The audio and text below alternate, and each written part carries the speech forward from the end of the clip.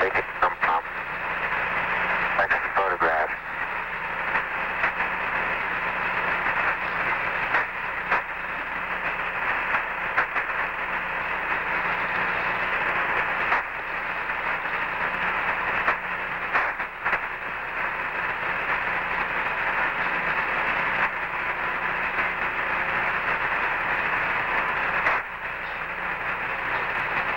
One of the important things we're finding out now with more than an hour of uh, walking on the moon uh, behind us. Buzz is making his way around the LEM, photographing it from various angles, uh, looking at its condition on all sides. is that the energy expended, the heat rates, uh, the body temperature, the cooling system of the spacesuit, all of these things are working uh, right as they had planned them. There's been no Neil's still strain. occupied with the uh, bulk sample. That's, that's of the rocks, of course, uh, which he seems to indicate, Wally, that uh, we're going to be able to go a lot farther, It a lot more exploration in the future flights. Without the uh, pain we've had with our old EVA, this uh, really is a great breakthrough. I believe that we're doing better. 40 minutes time expended on the PLSSs now. I believe we're, they're doing better than predicted, only in that they're having a lot more motion than we anticipated. They're romping around up there. That's right. The slow movement that had been predicted hasn't Sample taken place. Bulk sample is just being sealed.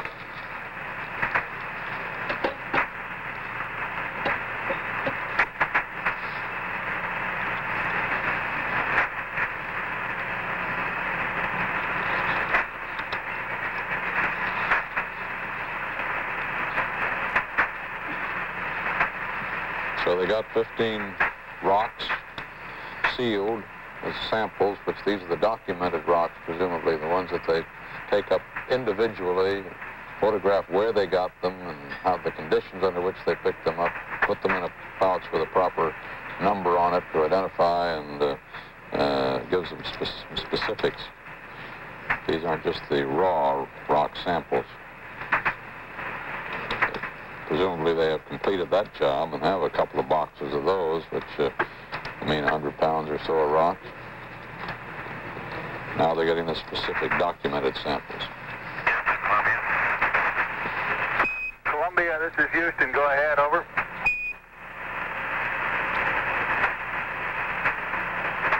Roger, no marks on the left that time. I did see a suspiciously small white object uh, push forward and burn.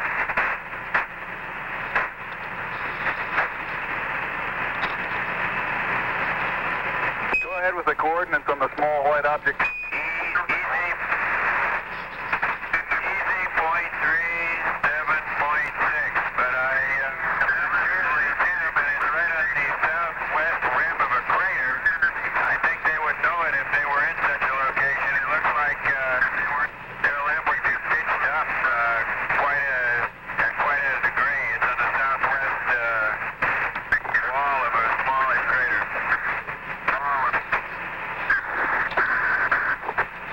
Roger, copy Echo decimal three and seven decimal six.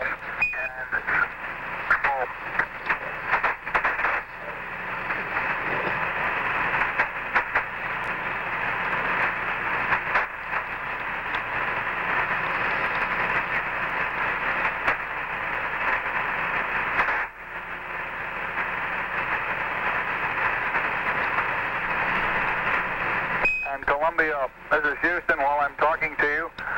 LOS will be at 111, 19er, 31.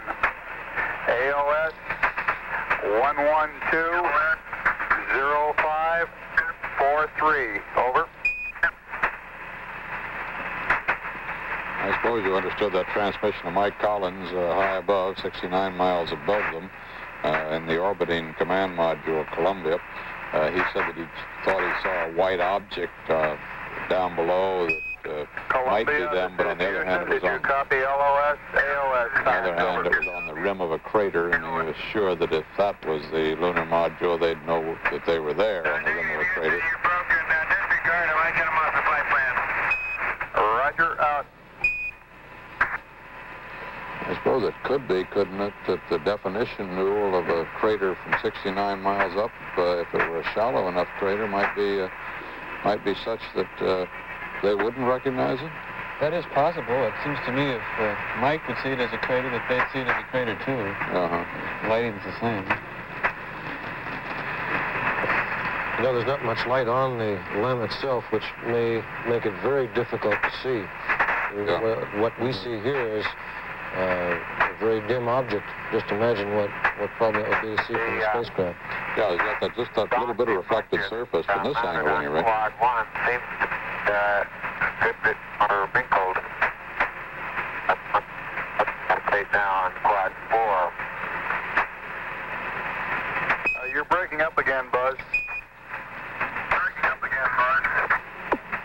I say the uh, jet deflector that's mounted on quad four seems to be, uh, the surface of it seems to be more wrinkled than the one that's on quad one.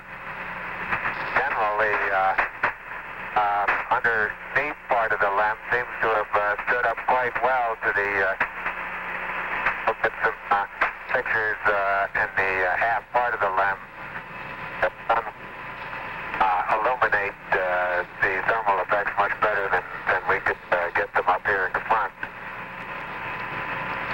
Roger out. Want to get uh, some particular photographs of the uh, bulk sample area, Neil? Okay.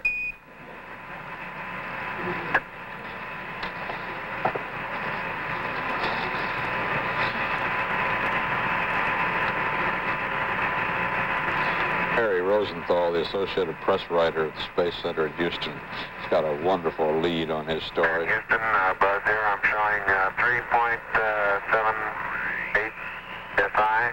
They, uh, he said they kept the whole world waiting while they dressed to go out. 3%. But once there, the whole world saw Neil Armstrong's one small step for man, one giant leap for mankind.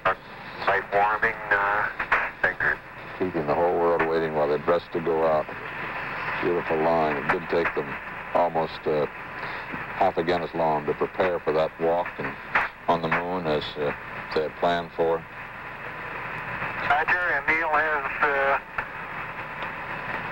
66% O2, no flags, minimum cooling, and the suit pressure is 382. Houston, roger out. All sounds like good uh, figures, doesn't it, uh, Wally? very good, particularly the minimum cooling. That, that's very consoling to see that perform so well.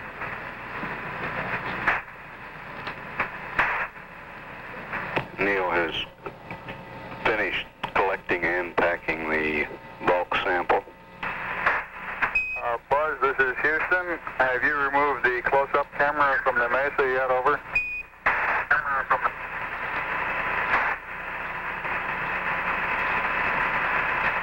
Negative, thank you.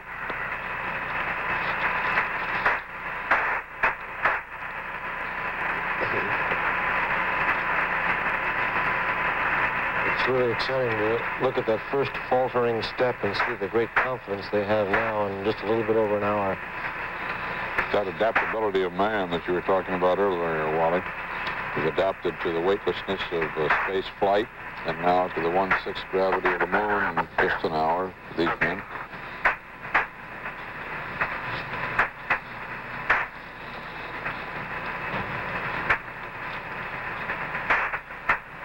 There were so many doubters about man's adaptability. It's, it's unbelievable. They're all members of the club now, but it was a hard fight years ago. Well, one of the arguments about not sending man up there because he couldn't survive in the environment of space and on the moon. Uh, Houston, that is our timeline after to be going. Roger, uh, it looks like you're about a half hour uh, slow on it. We're working on consumables over. All right. Aren't you glad there are no chimpanzees standing there right now? Set up by man to, as the first experimenters on the moon, first explorers. they're running about a half hour behind the plan, as you heard there from Mission Control a moment ago, of uh, what they will do on the moon's surface. Uh, however, they, we heard a moment ago that they've finished packing the rock samples. We haven't heard of the uh, of the deployment of the so-called early Apollo scientific experiments package, or Uh, Neil and Buzz, this is Houston. Uh, to clarify my last, uh, your consumables are uh, in good shape at this time. The 30-minute reference was with respect to the nominal timeline. Over. Roger, I understand that. Uh, these, that EASEP package includes the deployment of a, by Aldrin of the passive seismology experiment. That's a uh, seismometer that they leave on the surface of the moon that will send back uh, for a period of time reports on uh, impact of meteorites on the moon's surface, of any earthquake activity on the moon. They'll also deploy a laser ranging retroreflector, it's called, which is a prism-like mirror uh, with which uh, lasers can, uh, on Earth, and anybody can do it. Uh, uh, they don't have to be United States experimenters in the space program necessarily. If you've got powerful enough laser, and a lot of people do around the world, you, you can uh, try to focus on that reflector. And with a laser beam, that is the controlled beam of light to the moon, and the known time or the speed of light and the return of that uh, light signal through the prism mirror, uh, we will get measurements of the moon's wobble, of the Earth's wobble, even of the drift of our continents uh, from those measurements with laser. These are experiments yet to be on the surface now uh, slightly over an hour and 20 minutes.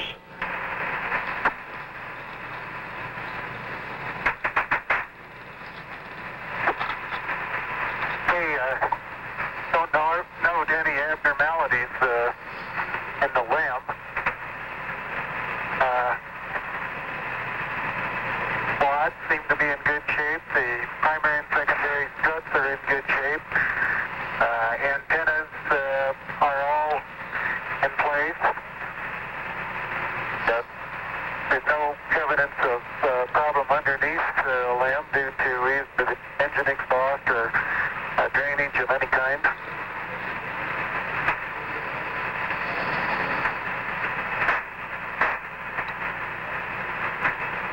Roger up. It's very surprising the uh, very surprising lack of penetration of all four of the foot pads. I'd say if we were to uh, try and determine just how far below the surface uh, they would have penetrated, you'd measure uh, for three inches, would you say, Neil? At the most, yeah. That uh, fly strut there is probably even less than that. You can see that clearly in the picture. The foot pads are clearly visible. They haven't sunk down into the surface enough to uh, to uh, repair our picture of them at all.